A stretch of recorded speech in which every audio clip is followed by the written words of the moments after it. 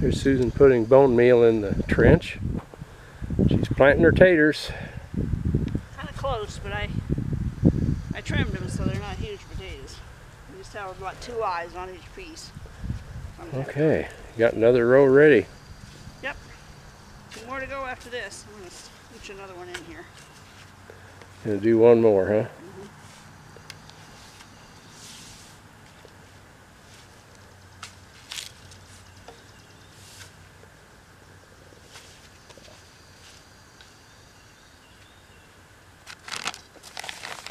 Small piece that doesn't have much to it. We'll do it that one. Okay. Back up here and watch you plop a few in.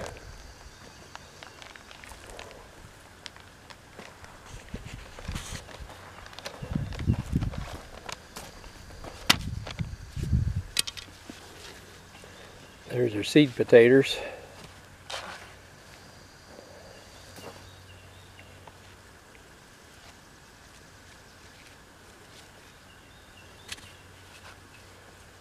One in there already.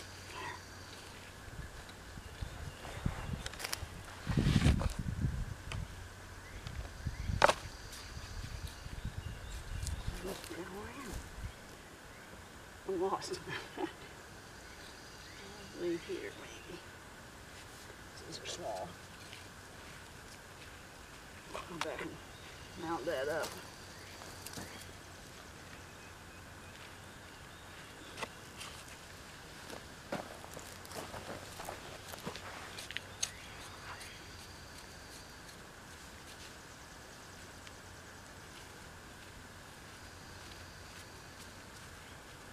You're an artist, Susan. I don't know about the artist part. Pretty messy. I'll come in and make that whole thing covered. Get these in.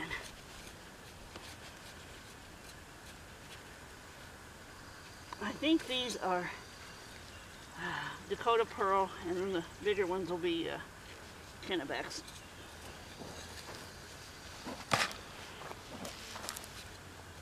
And that's how Susan does it.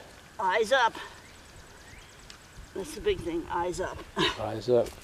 And when they pop through the ground, we come out here and spread straw on them. Yeah, Hill them, hill 'em a little more strong.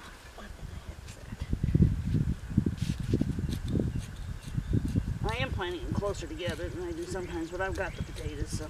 Last year, I think they had more room than they needed. Well, I don't know. So I think Every this will be good. different.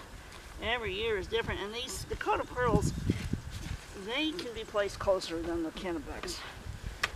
They don't seem to take up as much room. They produce a smaller potato too, but a lot of them.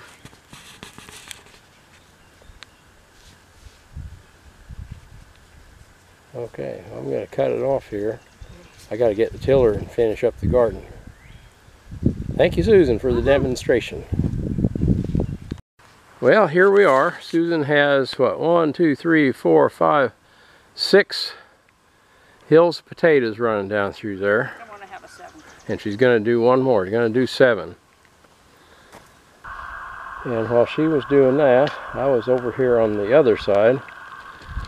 We uh, put nine scoops of mushroom compost around the edges there with the tractor. And I flung those across, spread them all over, and then I brought the tiller in. We just finished tilling this up. So we've got that uh, mushroom compost tilled in all over. Got it extra heavy on that end. That end is low and very clay. That's always the poorest part. So we built it up. We made made that thicker there. And we'll see how that